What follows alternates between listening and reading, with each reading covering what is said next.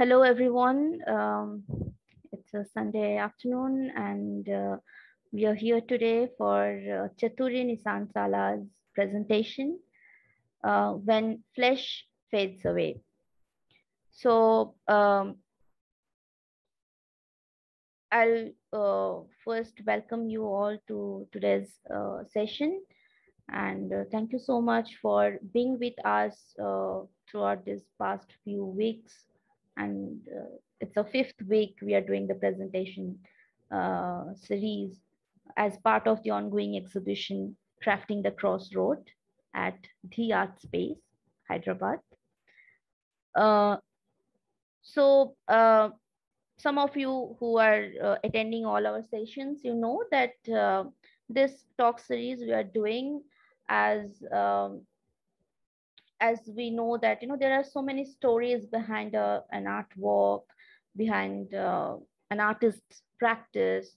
So we thought that we can bring the artists on this platform and uh, share their uh, stories, their experience, their practice so it's it's uh, it's an opportunity for our audience to directly connect to them. Uh, so we'll welcome today uh, Chaturi, Chaturi Nissansala from Sri Lanka. Currently, she is in Colombo.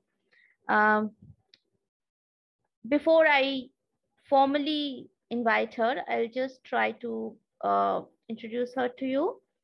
I'll just read out a few lines about her though the person is really very, very colorful, more than what I'm going to read out from the so-called bio note.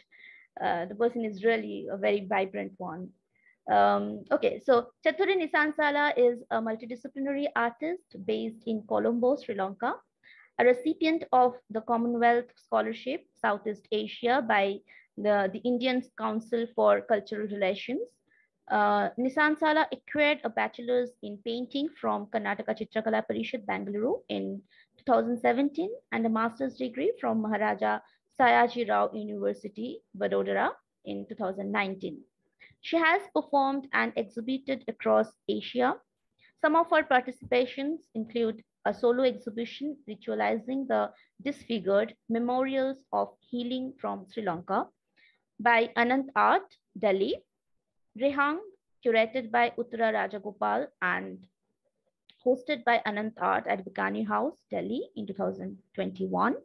Responses to Memory, curated by Oorja Garg at Gillehri Arts Initiative in 2020.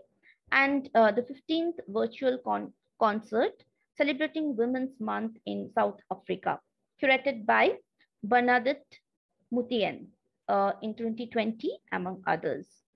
Currently, she is carrying out her uh, apprenticeship under artist Somapala Pothupitiye and learning the traditional practice of costume making at Mullegama Art Center in Sri Lanka. Uh, that's about Chaturi Nissansala from Sri Lanka. Uh, welcome, Chaturi. Welcome to today's talk. And, uh, you know, it's, it's so glad to uh, meet you again on the virtual platform. Chaturi came for the opening of the show, Crafting the Crossroad, and she did a, uh, a very, very powerful uh, performance on the opening day. Mm, I think Chaturi would like to talk about that as well. Uh, so yeah, now over to Chaturi. The stage is all I, yours. Uh, yeah, so I'll just sort of, uh, in the beginning, I'll just have a video conversation on the video, but there's a network issue happening here at Colombo, so I might have to off the video at certain points. Um, and so hopefully, so thank you so much, Somedutta and Dhi Artspace, space um, for giving me this opportunity. And uh, yeah, and I'm uh, back in Colombo and uh, would like to carry, I mean, it's uh, it was a great experience to be there and doing a performance at the opening of the art space this exhibition crafting the crossroads so yeah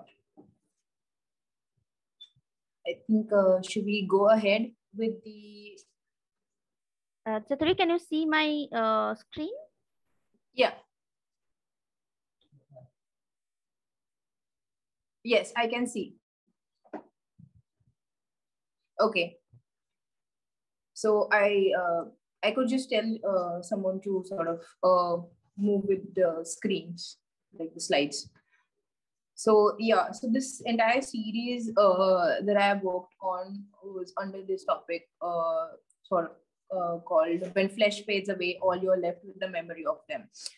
Um, it's it begins with this uh, the entire series work before uh, started with the idea of um, a series before that I was working on on my mother's archives, on my mother's memory, how she sort of uh, lived within the period uh, during the war uh, from 1983 to 1989, and uh, where I was connecting with the archives. Then I moved to Colombo uh, in 2019 and I started, I moved to Mullegama Art Center, which is uh, actually a vision by the artist Pala Pothupitiye. And he wanted to connect the traditional artisans with the contemporary artists. And there I met uh, his father, uh, uh, Somapala. So it was uh, under both so Somapala Pothupitiye and Pala Pothupitiye, I've sort of uh, got into the traditional art scene of Sri Lanka, uh, especially the southern ritual. So let's move into the next slide. Uh, if I talk about, hello? Sorry, Sapri, there was some uh, network issues. Uh, let me just try again. Okay. So let me just give you an introduction about the process. So in Sri Lanka, uh, they what we are looking at is actually a performative tradition. It's called the curative tradition. A curative means healing. And as you, uh, if you see uh, throughout coastal area of Sri Lanka, where we have different forms and uh, forms of art that is coming up. And uh, if you look at the southern ritualistic tradition, here is a glimpse of a scenery displayed at the National Museum of Sri Lanka, where you see uh, this tradition is being shown. So curative tradition is actually about healing. Uh, it is also, there are other aesthetical elements that are connected to it. So there is a set of mass tradition. We connect with the demons and the cosmic entities that are around. So what people believed at that time is even now that uh, why we are getting these sicknesses and ailments, we call the sanni, uh, is because of these sort of imbalances that are happening in the cosmo- cosmology, but also because of these entities that are around us. So there are types of de- different demons, and there are types of forms of this uh, branches in the same tradition. Uh, if you move to the next slide, uh, I could show you. So if you see the bottom half uh, of south part of Sri Lanka, here this is called the southern uh, part of Sri Lanka, where this tradition is prevalent. So after Colombo, uh, you move to Kalutara. So from Kalutara, you move to Bentara. So from Bentara, the entire coastal line up to Matara, Ambalanthutta is this entire area where you see this tradition is connected. And if I look at the curative tradition, there are these three distinctive branches which call according to the areas, which is Bentara, Ambalangoda, and Matara. So these are three different areas or localities that is this, uh, you, but in within them also there are certain variations, but these are three distinct branches according to topographies of Sri Lanka that they have found. Matara is considered as one of the most deep rooted. So if we look at this tradition, it prevails back to the time of our ancient uh, ancestors. Uh, there is a belief that the roots are moved towards um, the early predecessors of the uh, you know the cultures of the Rakshasas and Yakshas. Then there is also a hybridization that we can see later uh, with uh, certain elements of Orissa, uh, Kerala that also started moving like have influences. And then we can see uh, with the colonial influences, some of that this tradition starts moving more hybridized. Uh, you see uh, certain theater, like no, um, we call it kolam and all that entered. Even the attire started changing as well. So this entire tradition itself is very hybrid and moving. Um, the demons and the textile uh, are connected to each other. Um, the demons are connected as entities that are living amongst us. So we are not actually repelling them. We are sort of uh, living coexisting with each of, each of them. Can we move to the next slide? So if you see this image, it's actually uh, a structure of Tovil. Tovil is like a structure that is connect, uh, created. Uh, it's like a, a, a, an area, it's like an installation, which all these structures that are uh, made of uh, banana, coconut, co uh, parts of the coconut tree and banana tree, and they kind of create this entire structure around and where the demon in you know the installation this performance happened so this is an image uh, courtesy by artist Pala Pothupitiye. He recently had uh, done a Sanni dance uh, performance at his hometown, and he's um, and if you can see that it's an entire structure that they create to have these performances. And this structure, there's a, a distinct measurement, there's a uh, distinct symbolism that is connected within this tradition. Um, can we move to the next slide? So this as more than 200 years old, uh, like there is no uh, exact timeline when it started. Uh, and to be a proper master of this tradition, one must have uh, learned all the mastery for around 20 years of time and uh, Somapala Pothupitiye falls under uh, the Navandani caste. So Navandani caste means a person ma mastering of all nine skills of nine skills of craftsmanship. So he has mastered not only on ritual, Ayurvedic, uh, healing, medicinal, but also making costumes, even uh, the, uh, the slokas and the, you know, traditional reciting, mask making, jewelry designing, um, metal crafting and uh, the even uh, wood carving where we make creates the mask and everything. And even this entire structure this aesthetics the architecture structure also. So there are nine skills involved and he must master all these nine skills to actually be considered as a master uh, of the Navandanya caste. And he's the last artisans of the master, uh, tradition. And uh, aftermath of him there is not many who are actually following. One of the reasons is because uh, there is not uh, much of uh, funding or also support from the state. And many people are not interested to move towards the art and art uh, art learning so that is there but his uh, son Pala Pothupitiye is carrying certain power sectors of his tradition to make it bring it to the contemporary times. So as you see, what he's wearing, this is an entire image, uh, a costume, uh, what, what he's wearing. So why do we wear these costumes? In the entire ritual, he's considered as the main Yakadura. Yakadura is the main healer or the performer who is the, the main healer and also the teacher. He handles and he is the one who's communicating with the entities. He's also the one who's going to heal the the sick person.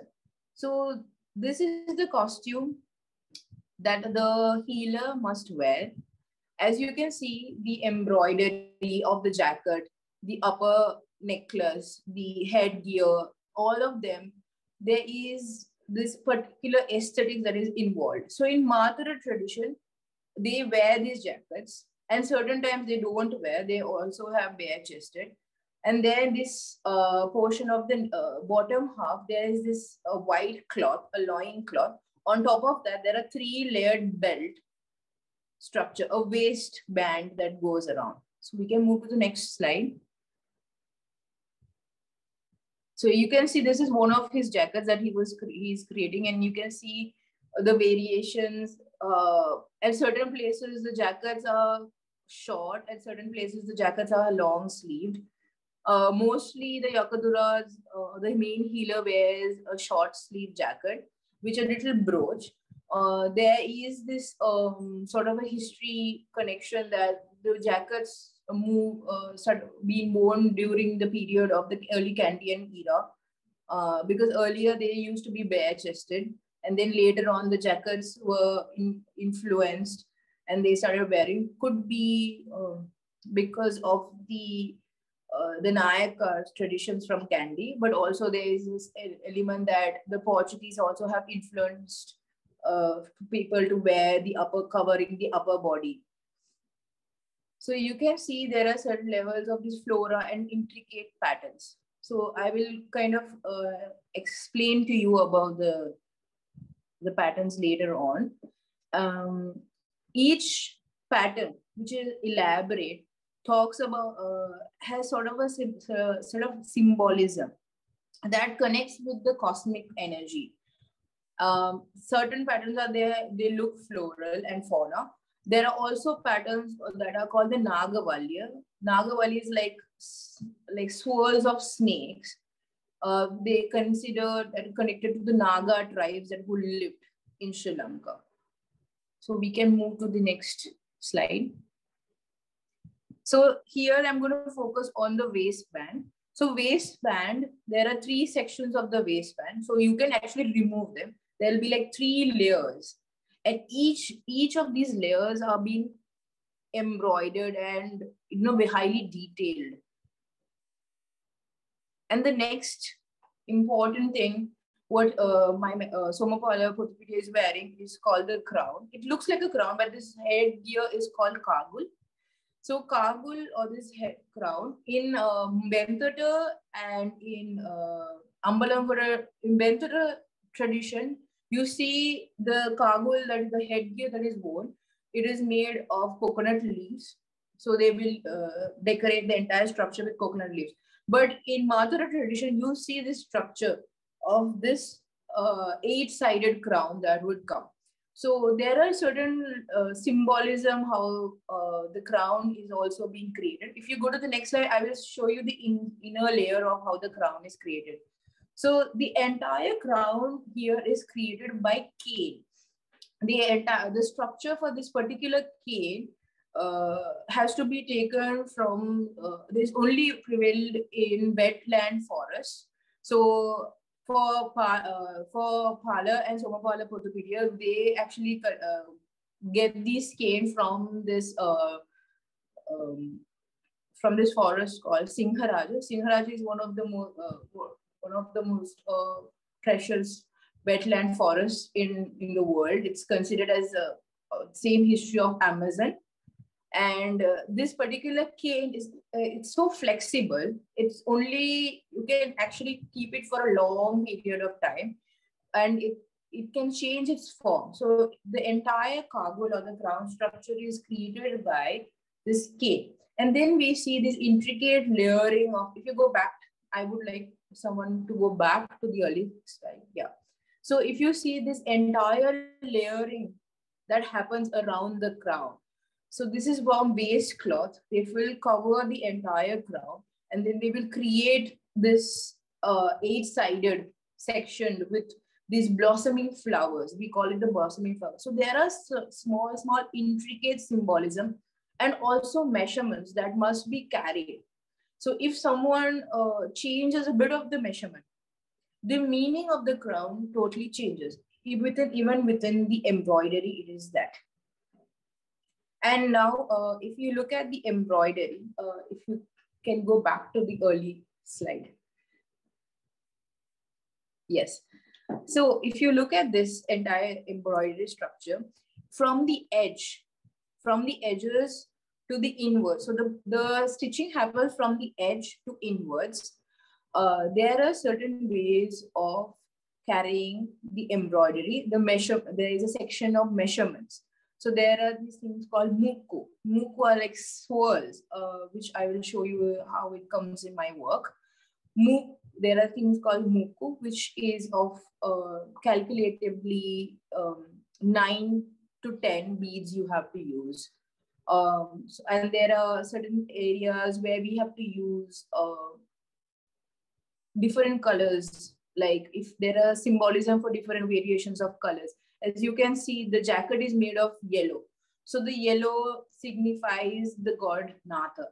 So therefore, to balance the jacket, the colors of the beads has to go with the other gods that symbolize the other gods. So there are four gods who are called the guardian gods. So each time when we are working on this practice of embroidery, we must always remember that the symbolisms, the uh, the patterns, and what it means is uh, symbolic, and also how it's uh, connected with healing as well. So uh, we can go down. Yes. So here also as well, we are seeing this. So, um, when it comes to um, this tradition, uh, what I learned, I am still learning with my mentor is that why does this ornamentation or this embroidery textile is happening is the reason is that the the main healer, the Yakadura, uh, has to get connected to the cosmic energy so that he's able to sort of emanate that transcendence to the the sick person and the people around us. So to connect with that um, entity the person has to able to absorb that healing or absorb that cosmic energy. So as my uh, as my mentor has said, uh, Somapala mentions that the embroidery and its symbolism sort of absorbs this cosmic energy into the body and transcends our body, our soul into that ethereal being. So can we move to the next slide?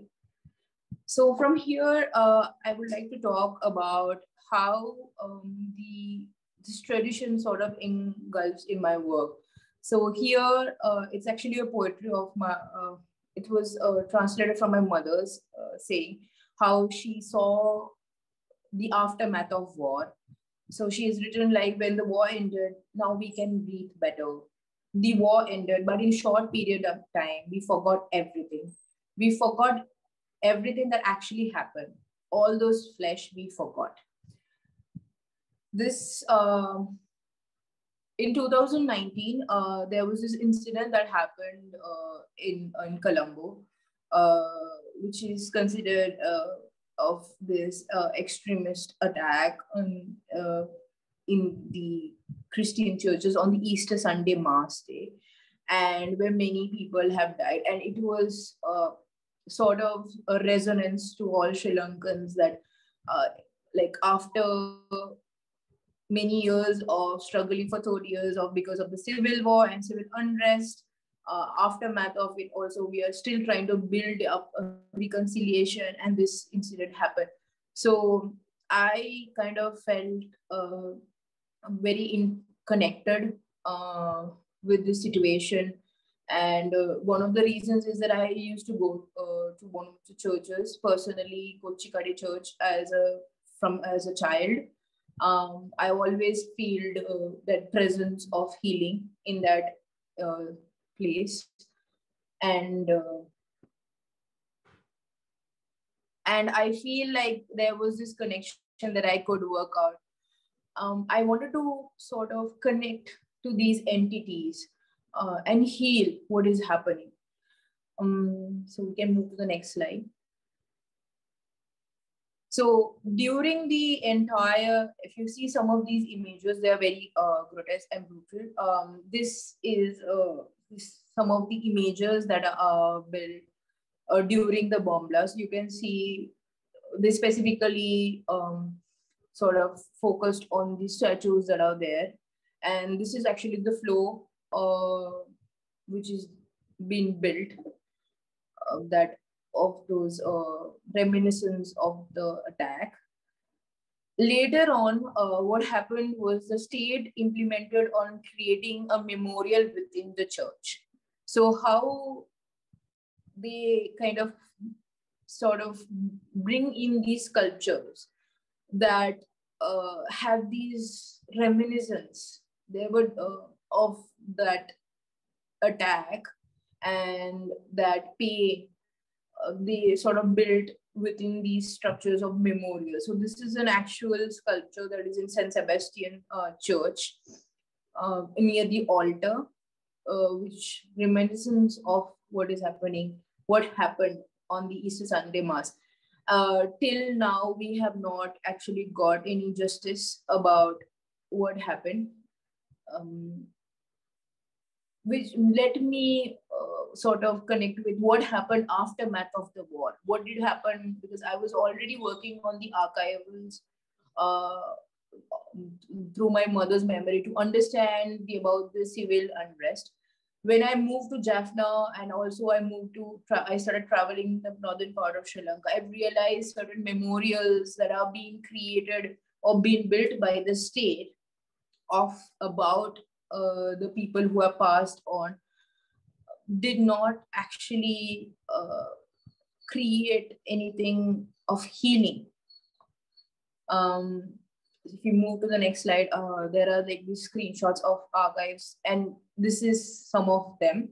So I actually went traveled to Jaffna, and you see these uh, burial grounds, which is on the first image as you see a pile of burial ground. So this is actually a memorial where they have actually destroyed this entire burial ground of the Tamil people or also the LTT people um, who were who died during the civil unrest. Um, and now the people around that area have collected all this debris and made into this sort of a shrine or a monument for remembering them this is another uh, memorial that is being built within the University of Jaffna, which was demolished in 2021 during the lockdowns uh, that uh, in the time of the pandemic. And then you can see in the other corner, uh, there is this uh, sort of uh, soldier with the weapon, with the state flag, sort of, you know, this is a memorial built by and funded by the state uh, to sort of halo their victory upon.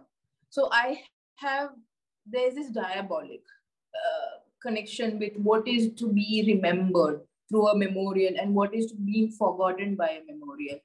Whom are we actually trying to heal and whom are we trying to reconnect?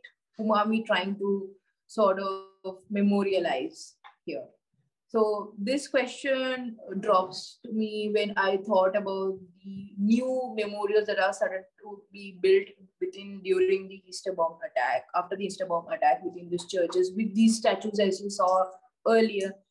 How can, uh, why would state fund such an important thing to memo- immediately create a memorial in, into the architecture of a church? So we'll move to the next slide. So here I want to open up. I used to visit uh, a lot at the Kochikade church when these um, this memorial was being built up, and uh, there is this uh, person who uh, a priest, and as well there is this person uh, whom I know from childhood. Um, he used to be the candle uh, bearer, and he was saying that there are certain statues that they can't put um, into the memo uh, into this new museum memorial that is being created. So they don't know what to do with them. Uh, that was part of the the uh, easter bomb attack. So he i asked him what should i do? And he said that we are going to draw throw them to uh, we are going to throw them into the water rivers or under a, a, a tree we should bury them or we'll throw them into the sea. So i did not want that to happen because i felt there's some sort of a connection that they held something so much of pain and trauma uh, in them. So i have collect uh, so they gifted me the first initial sculptures and later on uh, i started mapping and picking up these sculptures that mapped also of uh, incidents that have happened uh, during the 80s uh, there are no memorials built for the 88 89 revolution as well or or you know some um, or what happened at the 83 Black July massacre. There are no memorials in Colombo that you sort of connect with that brutal history of uh, ethnic violence as well. So I started mapping these places with these statues and shrines that are built by people around them. Um, So we can, this is sort of my statue archive with uh, some of the statues uh, that I've uh, brought from the churches. As I said, I collected and then suddenly uh, people started giving me them, but they are all there here. So we can move to the next slide. So uh, as you see, uh, my entire work in, in the beginning, uh, started with performance performances. So these statues used to be part of my performances. And I used to work with grand, uh, my mentor to sort of create the costumes, uh, trying to learn uh, his way of interpreting. And I want to learn the technique of how do I create the crown, how do I bring these elements of, of, of his aesthetics, of the Southern uh, curative traditional aesthetics of creating textile and attire into the performance attires and into my work. So in this is uh, where I moved in creating these performances where the sculptures started uh, being part of them. They are being sort of like entities. They were the entities that I wanted to communicate with them. Um, and they were also somewhere connecting to me as witnesses of some something that happened, a tragedy or something that is happening right now. So you can see the sculptures and the performance are becoming together. We can move to the uh, so there, these are certain uh, parts of the performance. Now you see the sculptures are actually entering as uh, performance of objects of performances. Uh, some even the the cup, which is uh, that's the, the saucer, the sculpture was actually used with uh, during the performance, sort of ritualistically drink something from the cup. Uh, so there is this uh, connection that the sculptures are being connected with the performances. So there were many people who participated uh, with the performances as well as my own mother who participated in the performances as well. So there is a particular character uh, I bring in called Nonchi. So if you go back to the previous slide, there is this masked entity uh, her name is actually known as Nonchi. Nonchi comes from the southern ritual uh, tradition of performances only. But she comes from this branch from Bentara tradition, from the kolam. Kolam means mockery or mocking someone. So it is kind of a theater of humor, theater of absurd. So she is a character who is in the entire cast uh, of that tradition is considered as the mother figure. She has three kids and uh, her husband is a the narrative goes as her husband is a drunkard and she has to sort of balance uh, her family and uh, create sustainability sustainability. She's also the nurturer and her character is very satirical as well. So i find uh, her one of uh, a, a, mother figure the entrance of a figure of as a mother within the tradition for the first time. Uh, but all these characters and all these practices are only uh, practiced by cisgendered male. Uh, therefore, even this character of a feminine, uh, feminine attribute is all, all performed by male gendered people. So we'll move to the other slide again. As you can see, the, the sculptures are entering. So if you move to the next slide. Yes. So here I would like to talk about each sculpture. As you see, they are connected in multiple ways to the performance. So as they are entities. So how do I connect them with the cosmic energy uh, that kind of transcends their body? So here the embroidery and the technique and the aesthetics of the embroidery enters into the work. You can see certain symbolisms of it. Uh, this is the St. Anthony statue uh, which is connect uh, actually it's named uh, from the place which is it is being collected from. Um, there is this triptych sort of a skirt, like a fro- uh, a frill kind of thing that is connect on the bottom half of the sculpture, which is actually the the as I showed you in the uh, actually there is another sculpture uh, composition. As you can see, uh, it has these three elements uh, connecting to each other. Um, we can move to the other slide as well. Yes.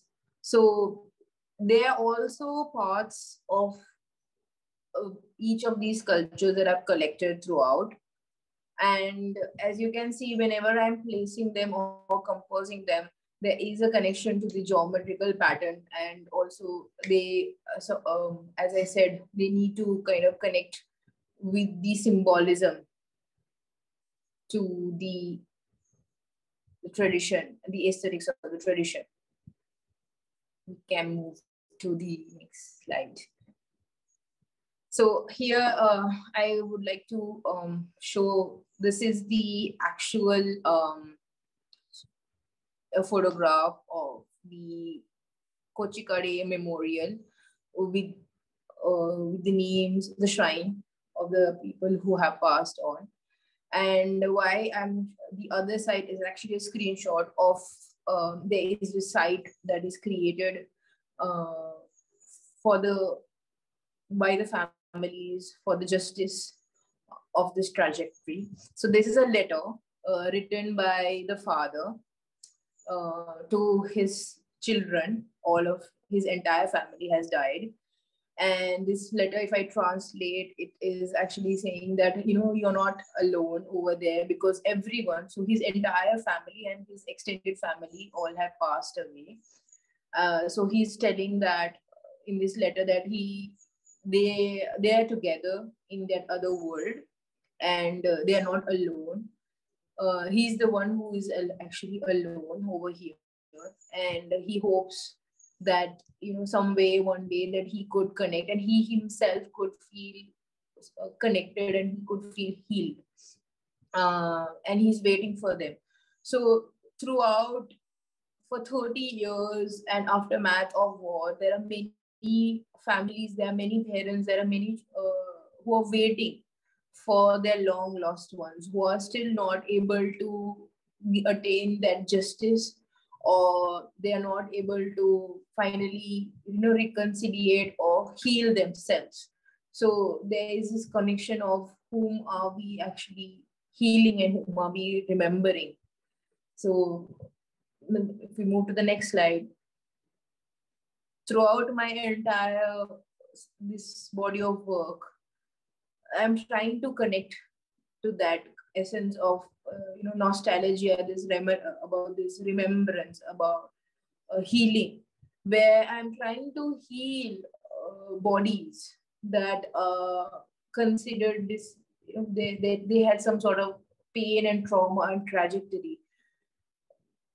When I actually showed this work, when I started working uh, for the first time, and I showed this work to my mentor, uh, Somapal uh, had said this to me that you know what you are healing, you're breathing in life to something that is dead, something that is gone through a tradition which is already dying. So you are giving uh, something life from something that is dying because he, after him he has this idea that there's no more people who are practicing it anymore so there is this connection that I'm trying to create throughout this entire work. That is why it is called When Flesh Fades Away, all you're left with the memory of them. Yeah, so thank you so much. Um, thank you so much, Dhi Artspace, and thank you so much, Sumit. I hope I didn't take all your time. Thank you, Chaturi. This was um, sometimes, you know, I'm I fall short of words and this is one of such moments. This happened uh, when we had our first conversation and you were showing me your uh, pieces that time you were in delhi and you were showing me the pieces you were working on at that time and uh, the stories you shared uh, some of your personal stories as well. And i was I, I got choked actually you know. I was not really able to speak or is yeah so we have a comment uh, in the chat box let me just get that out uh, it's from guru prasad day at first i pay my obeisance to the feet of Master Somapala Pothupitiye. Ms. Chaturi, needless to say, your presentation is deeply thought-provoking to me. Major thanks to Dhi for bringing this intellectually problematic and enlightening discussion to us. Thank you, uh, Mr. Dev. Um, yeah, so there are a lot of questions, maybe, you know, or things that we can uh, uh, we can think about. Uh, okay, so for our audience, you can uh, just mute yourself and uh, talk to the artist directly, ask your questions, uh, share your observation, or or just uh, if you just want to appreciate uh, Chaturi's work and you can just unmute yourself or write in the chat box.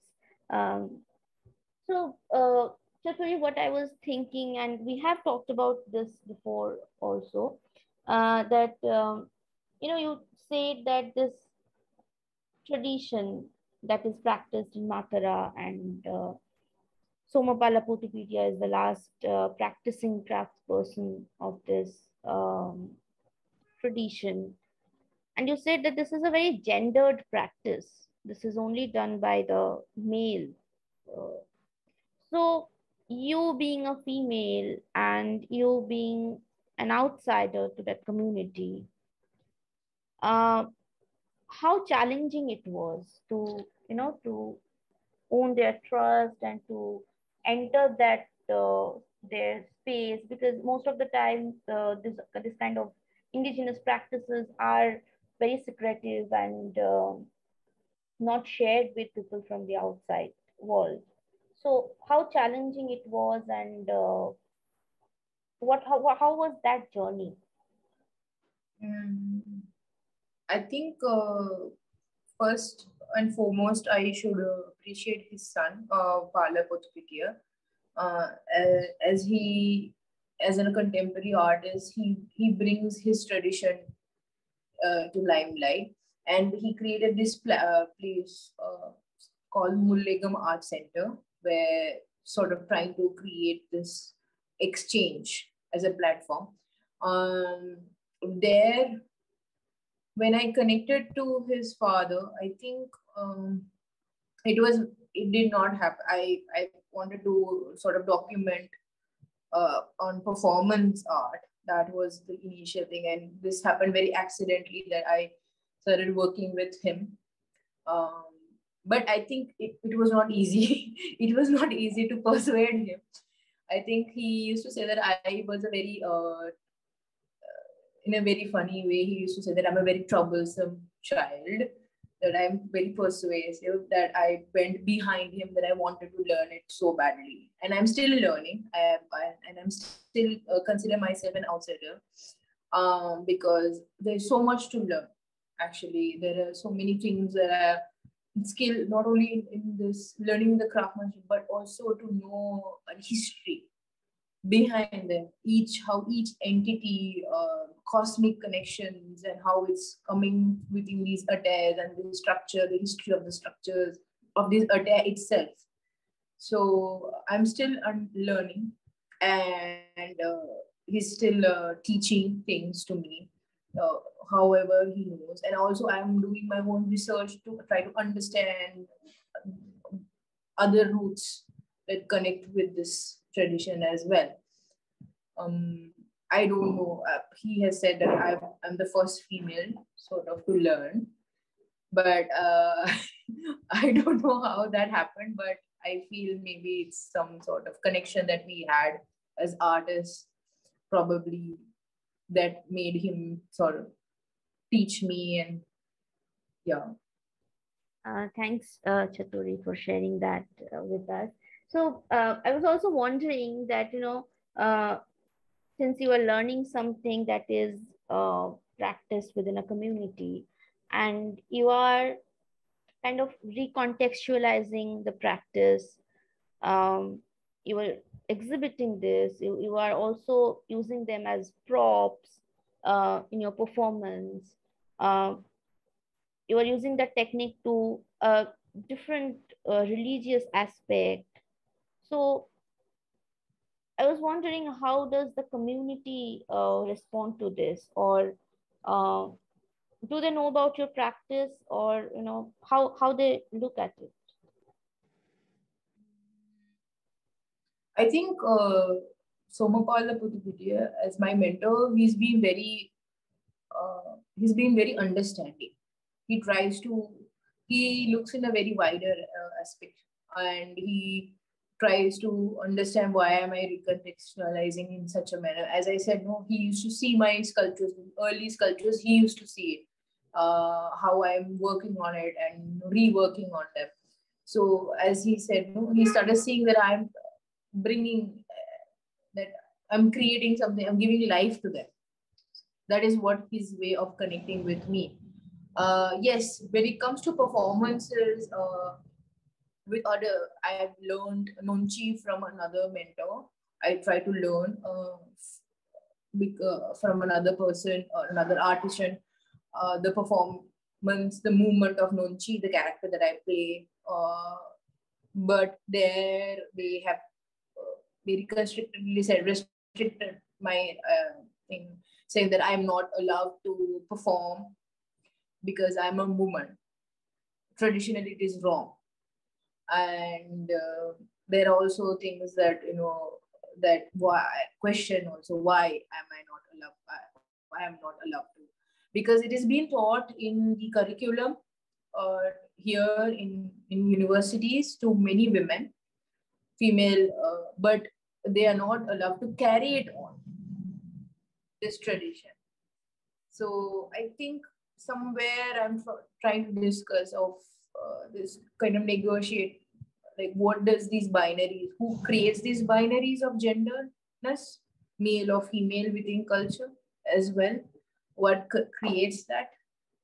So there is this utmost desire to sort of figure like research and figure that or or sort of recontextualize it as well. So yeah. Right. Uh so um do we have any any question uh, observation um, ideas comments from our audience? Uh, please feel free to ask uh, your questions to chaturi. Uh, you can write in the chat box or just unmute yourself and uh, come up with the question and uh, let me tell you this is the last um, presentation from the series that we were uh, continuing uh, in the last few weeks. Uh, and the exhibition is also uh, ending on 21st of August. So whoever is in Hyderabad, uh, if you have not seen the exhibition, please do visit. Um, if we don't have any, any more uh, question or comments from our audience, then we can just um, conclude the session today. Uh, but before that, thank you so much, Chaturi. I know uh, in the last few weeks, you have gone through a lot of uh, trouble and uh, uh, but finally you are you are back home and uh, in your studio and I'm really glad that you know you reunited with your family and now that you'll be able to continue your practice. Um, Thank you so much for joining us today and sharing your uh, beautiful stories, your practice, and a lot of things that, uh, you know, even after more, uh, many, many conversations, I didn't know, like the slides you showed today. Uh, it's, really an eye opening. So thank you so much for sharing this. And thanks to our audience, lovely audience who uh, you know, every week join us and uh, encourage our artists to uh, share their stories, their practice, and uh, you are. I'm really, you know, thankful to all of you because you are our inspiration. You are our um, uh, reason to come up with such conversations with our uh, artists. So, with this presentation of Chaturi Nissansala, we are kind of uh, ending this series of talks. Uh, definitely there will be more conversations, more uh, presentations by artists for other exhibitions. For this exhibition, this is the last one. Thank you so much. Thanks for joining us today. Bye-bye. Thank you so much. Bye. Thank you so much for everyone for joining today. Thank you, Dee. Thank you so much. Thank you so much.